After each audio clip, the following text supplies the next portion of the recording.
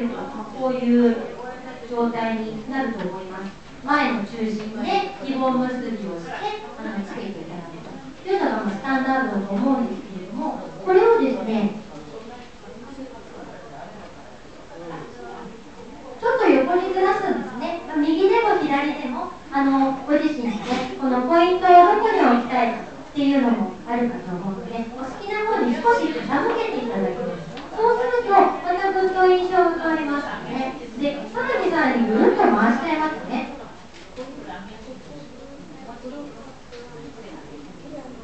後ろにねちょっとあのリボンの方をもう思い切って回してしまいますと、まあ、こういう感じにもなる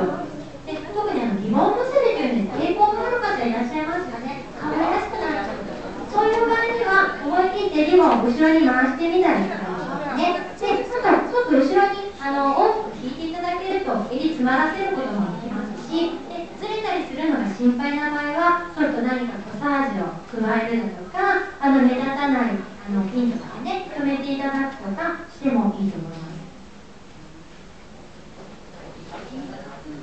ね、今あの最近もいるいるんでしょうかっていうのおかしいですけどもあの森があるっていう言葉がすごく流行りましたよね。でそういう子たちも結構こういうアイテムを使ったりしてるんですが、まあ、リボン結び先ほど抵抗ある人いますよねという方はリボンに結ばなくてもいいですよね。で前の部分でちょっと絡めて垂らすだけでもいいですしいっそ絡ませもせずただ垂らす。でこの長さが気になるようだったらちょっと途中でこう結んであげたりとかこの片側だけ。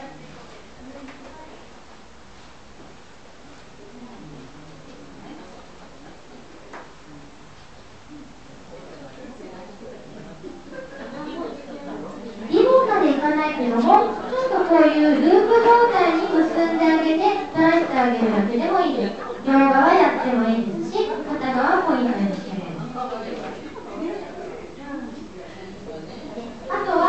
は先ほどセンターの部分でこう切ってリボン結びしましたけれどもそうじゃなくてこの長いリボンもこの垂れ具合をですねうまく使ってこの部分だけでちょっとピンとかでねクシュクシュっとまとめて止めてあげたりする結ばずに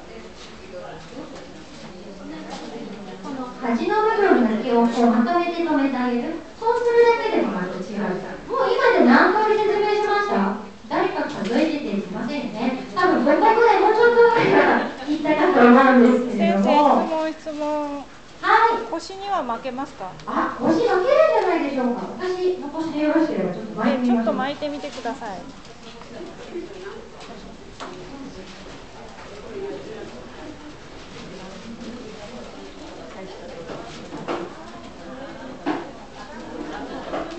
負けますね。かわいいで、ね、こうやって横に結んだりとかしてもいいですしもちろんね正面でも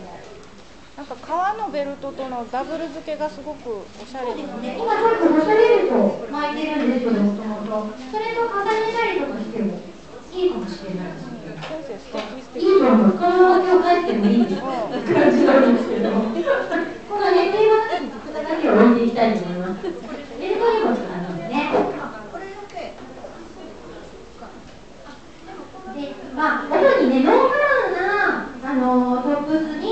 の、ね、ブラウスだとか T シャツだとかに合わせるかとも思うんですが、襟のあるものに重ねてもいいと思うんです。で、その場合はですね、その上に重ねるのではなくて、襟のあるものの下に重ねる。そうした方が、あの、どうしても上に乗せると下の襟のね、ボコボコが影響しますので、いっそ下に重ねてあげたりするといいと思います。今ね、私のもうパッと思いつく限りと、ベルトというお話があります。他にもっともっとね、使い道あるかもしれないので、ぜひぜひ、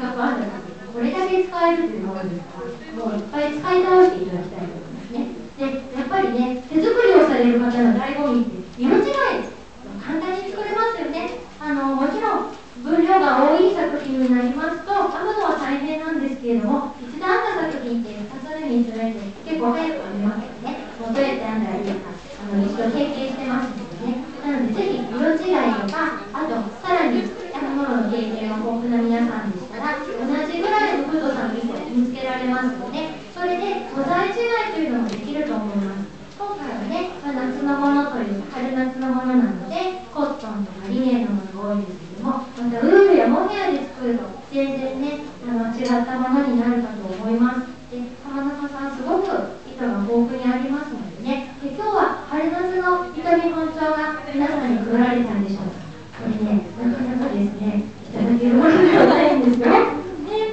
あのなので大切にこのシーズンあの眺めてですねこの短い糸端からいろんなイメージを膨らませていただきたいと思いますで今回の、えーと、この付けですコットンの時ですね。それからこのグローブ。これはブラックスですね。で毎年のように新色が古着増えたりしてますよね。そういうのでねあの毎年のきっと楽しみになるしあの長く続いて増え色も増えていくということはやっぱり人気もあって素材もよくあの根強い皆さんの支持があってのことだと思いますのでぜひねそういう糸を使って良い作り皆さん作ってくださいでなんと私の今日私物のバッグここに借りていただいています。これアンダリアですねアンダリアはねなんかえーとね、昔はこういうツインとかっていうのなかったですけどね、本当に1本の糸がずっと長くあの浜中さんの方で作られてます、こういったアイテムがとても今人気で、種類がとっても増えてますね。今年嬉しかったのは、スパンコールがついてる糸ですか？